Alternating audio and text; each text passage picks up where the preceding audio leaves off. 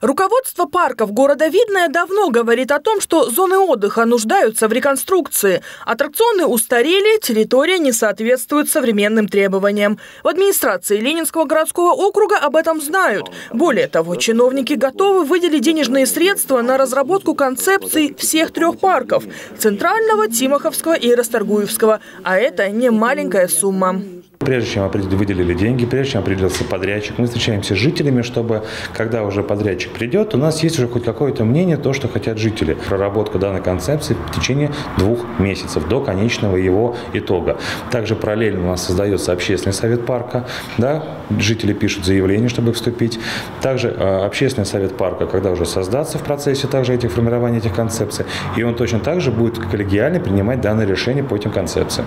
Уже на первых этапах общественных обсуждений обсуждений стало ясно, что каждый из трех парков индивидуален и нуждается в особом подходе. Например, в Расторгуевском есть потребность создания спортивного городка, воркаут и скейт-площадки, активити для молодежи. В Тимоховском парке недостаточно пешеходных дорожек. Руководство парка намерено соединить его с улицей Школьной, а также провести комплексное благоустройство. Относительно Центрального парка местные жители считают, что существующие аттракционы давно пора менять. Если мы будем говорить о проекте, проекте парка, то, наверное, мы должны представить себя детьми, да, что вот мы как дети бы было интересно.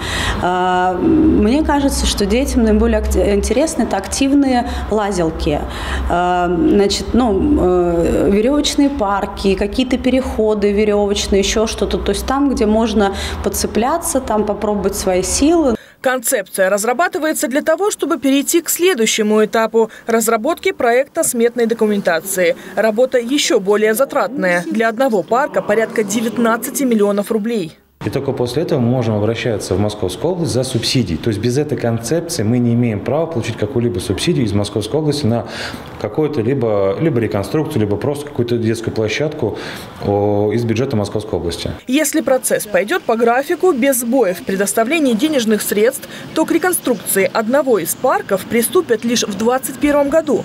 О времени завершения работ по всем трем паркам пока говорить рано. Программа долгосрочная, но необходимая. Юлия Погосян, Александр Логинов, Ольга Садовская. Видно этого.